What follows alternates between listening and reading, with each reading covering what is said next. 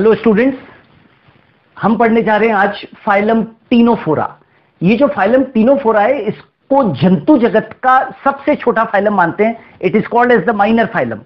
अब प्रश्न उठता है कि इसको माइनर फाइलम क्यों कहते हैं? क्योंकि इसके अंदर जो स्पीशीज है, वो हंड्रेड से भी कम स्पीशीज है इस फाइलम के अंदर। इसीलिए इसको हम माइनर फाइलम कहते हैं। इस पूरे फाइलम की एक विशेषता है कि इसके अंदर बायोल्यूमिनेसेंट प्रॉपर्टी पाई जाती है। बायोल्यूमिनेसेंट का मतलब होता है देदीप्तशीलता की property bioluminescent they emit light okay तो इसको हम क्या कहते हैं? बायोल्यूमिनेसेंट प्रॉपर्टी पाई जाती है। ये जीव जो होते हैं, वो मांसाहारी होते हैं कार्निवोरस होते हैं ओके और ये मोलस्का के और क्रस्टेशियंस के अंडे और लार्वो का क्या करते हैं? सेवन करते हैं।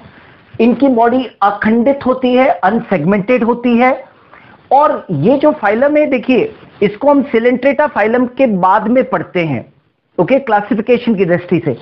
तो सिलेंट्रेटा में आप क्या देखते हैं कि उसके अंदर बहुरूपता पाई जाती है, पॉलीमॉर्फिज्म पाई जाती है। लेकिन यहाँ पर पॉलीमॉर्फिज्म और या हम कह सकते हैं बहुरूपता नहीं पाई जाती है।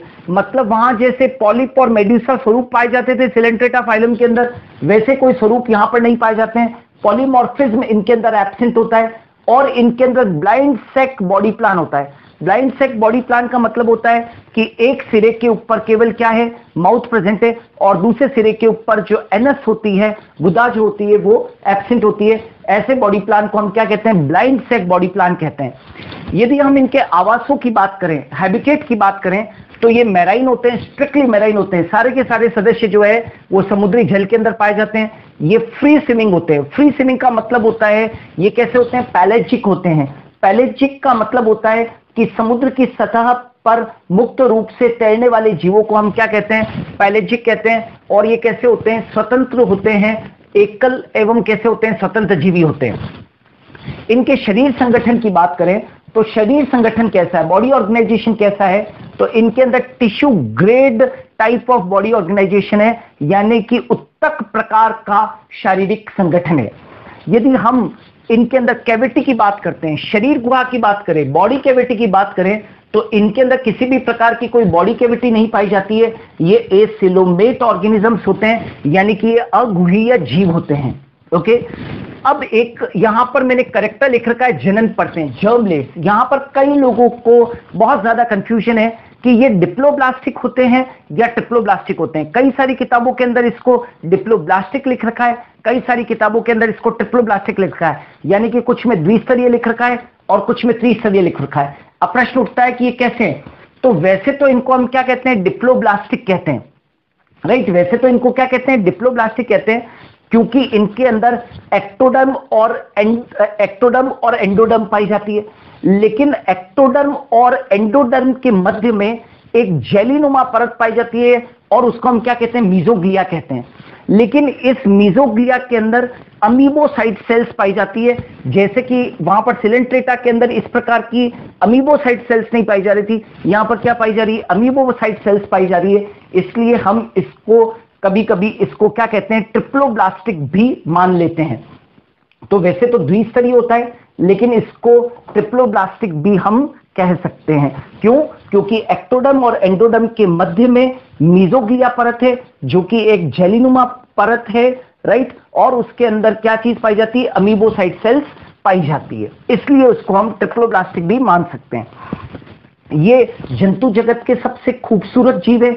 ये डेलिकेसी के लिए, कोमलता के लिए और ब्यूटीफुलनेस के लिए, सुंदरता के लिए जाने जाते हैं। ये रंगीन होते हैं कलरफुल होते हैं और इनकी बॉडी जो होती है, वो कैसी होती है? पारदर्शी होती है ट्रांसपेरेंट होती है। इनकी, इन्हें हम क्या कहते हैं? इनका कॉमन नाम है टीनोफोरा जो फाइलम के मेंबर्स हैं। उनको हम कॉमनली कोम्ब जेलीस कहते हैं, कंगक जेलियाँ कहते हैं। अब प्रश्न उठता है कि क्यों कहते हैं इनको कोम्ब जेलीस क्यों कहते हैं? तो इनके अंदर एट कोम्ब प्लेट्स यानी कि एट कंगक पट्टियाँ पाई जाती है, जो गमन में क्या करती है, मदद करती है, और सूर्य के प्रकाश में ये जो कंगक पट्टियाँ हैं कोम प्लेट से ये इंद्रधनुषी प्रभाव भी क्या करती है, उत्पन्न करती है रेनबो इफ़ेक्ट उत्पन्न करती है, इसीलिए इनको जंतु जगत के सबसे खूबसूरत जीव माना जाता है। इन्हें न केवल कोम जेलीज कहते, इन्हें गूज बेरीज भी कहते हैं, इन्हें सी गूज बेरीज भी कहते हैं या इन्हें सी वॉलनट्स भी कहते हैं। अब प्रश्न उठता है कि इनको गूज बेरीज या वॉलनट सी वॉलनट्स क्यों कहते हैं? क्योंकि इनके शेप के बिहाव के ऊपर, आकृति के बिहाव के ऊपर ये नाम दिया गया है। अब आ जाते हैं सिमेट्री। राइट, सिमेट्री कौन सी होती है? इनके अंदर सममिति कौन सी होती है? तो द्विअरीय सममिति पाई जाती है।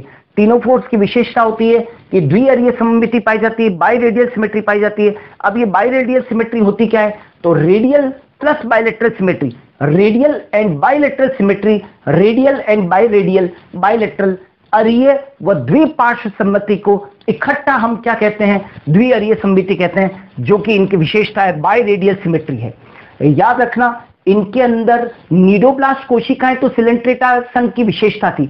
वैसी नीडोब्लास्ट कोशिकाएँ तो नहीं पाई जाती है, लेकिन इनकी बॉडी के अंदर जो स्पर्शक होते हैं टेंटिकल्स होते हैं, जिनका नंबर वन पेयर होता है, उन टेंटिकल्स के ऊपर स्पेशल सेल्स होती है, जो कि एडेसिव सेल्स है आसंचक कोशिकाएँ हैं, जिनको कि हम कोलोब्लास्ट कोशिकाएँ कहते हैं, या लासो सेल्स जो होती है, वो पाई जाती है। और ये जो कोलोब्लास्ट और लासो सेल्स है, ये शिकार को पकड़ने में मदद करती है। यदि डाइजेशन की देखें कि फाइलम टीनोफोरा के अंदर डाइजेशन का प्रकार कैसा है तो ये इंट्रासेलुलर और एक्स्ट्रा सेलुलर दोनों प्रकार का है ठीक सिलेंट्रेटा संघ की तरह ये कैसे होते हैं? इंट्रासेलुलर और एक्स्ट्रा सेलुलर दोनों प्रकार का डाइजेशन इसके अंदर पाया जाता है। राइट यदि हम इनके अंदर कंकाल तंत्र देखें परिसंचन तंत्र देखें, श्वसन तंत्र देखें और उत्सर्जन तंत्र देखें तो ये पूरी तरीके से अनुपस्थित होता है। और विशेष तौर से श्वसन और उत्सर्जन की जो प्रक्रियाएँ होती है, वो शरीर की सामान्य सतह से होती है व्यसन विधि के द्वारा। इनके अंदर तंत्रिका तंत्र जो होता है, वो विकसित नहीं होता है। इनके अंदर तंत्रिका तंत्र डिफ्यूज टाइप का होता है, विस्तृत प्रकार का होता है। अर्थात इनके अंदर मस्तिष्क तो क्या होता है? एबसेंट होता है। लेकिन मस्तिष्क के स्थान पर न्यूरॉन्स तो होते हैं। इनमें न्यूरॉन्स तो है नेटवर्क लाइक नर्व सेल्स तो पाई जाती है। लेकिन यहाँ पर मस्तिष्क नहीं होता है। इसलिए हम कहते हैं कि तंत्रिका तंत्र विस्तृत प्रकार का है। इनके अंदर विशेष प्रकार का एक बैलेंसिंग ऑर्गन होता है। और उस बैलेंसिंग ऑर्गन को हम संवेदी अंग जो है, वो संवेदी अंग या इसको हम क्या कहते हैं स्टेटोसिस्ट कहते हैं। आप ये भी कह सकते हो कि इन प्राणियों के अंदर जो बैलेंसिंग ऑर्गन है, उसका नाम क्या है? स्टेटोसिस्ट है। ये जो जीव होते हैं टीनोफोर्स ये सभी हार्नेफ्रोडाइट होते हैं, द्विलिंगी होते हैं और इनके अंदर जनद जो होते हैं गोनैट्स जो होते हैं राइट उनकी जो उत्पत्ति होती है, वो कैसी होती है? एंडोडर्मल होती है। इनके अंदर। वैसे तो निषेचन जो है, वो बाह्य कोशिकी होता है, लेकिन कुछ सदस्यों के अंदर आंतरिक निषेचन भी पाया जाता है। फिर से बता दूँ, निषेचन जो होता है, वैसे तो बाह्य कोश, बाह्य बाह्य निषेचन पाया जाता है, लेकिन हो सकता है कि इनके अंदर कुछ सदस्यों के अंदर जो है, वो कैसा निषेचन पाया जाता है तो आंतरिक निषेचन भी पाया जा सकता है। इनके अंदर परिवर्तन अप्रत्यक्ष होता है इनडायरेक्ट डेवलपमेंट होता है। इनडायरेक्ट डेवलपमेंट या प्रत्यक्ष परिवर्तन का मतलब है कि लार्वा अवस्था उपस्थित होती है। अब प्रश्न उठता है कि यदि लार्वा होता है तो कौन सा लार्वा है? तो the point to be noted here is that इनके अंदर सिडिपिड लार्वा होता है। इनके अंदर सिडिपिड लार्वा होता है। इनके अंदर पीडी एकांतरण एबसेंट होता है। देखिए, इससे पहले जो क्लासिफिकेशन के अकॉर्डिंग हम इससे पहले कौन सा फाइलम पढ़ते हैं? सिलेंट्रेटा फाइलम पढ़ते हैं।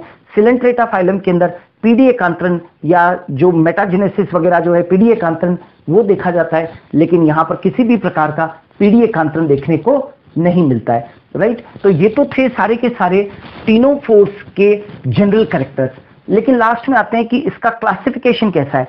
तो ये जो फाइलम टीनोफोरा है जो फाइलम टीनोफोरा है, ये क्योंकि एक छोटा सा फाइलम है तो इसकी केवल दो ही क्लासेस हैं।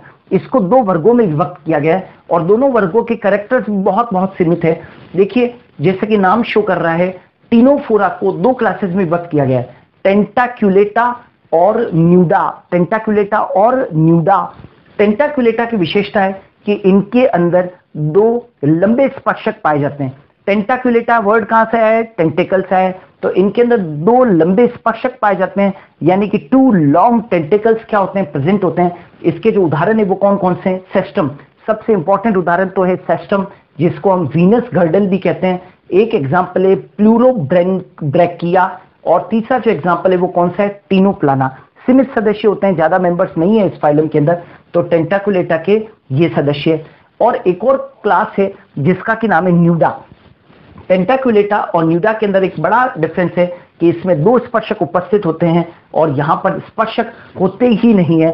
Tentacles are fully absent Nuda को हम क्या कहते हैं? बिरोई कहते हैं। इसको कॉमन लैंग्वेज के अंदर बिल्ली की तैरती आँखें के नाम से भी जाना जाता है। तो डियर स्टूडेंट ये जो था, वो फाइलम टीनोफोरा का क्लासिफिकेशन था। मेरे वीडियोस को देखते रहिए, मेरे चैनल को सब्सक्राइब कीजिए। Thanks a lot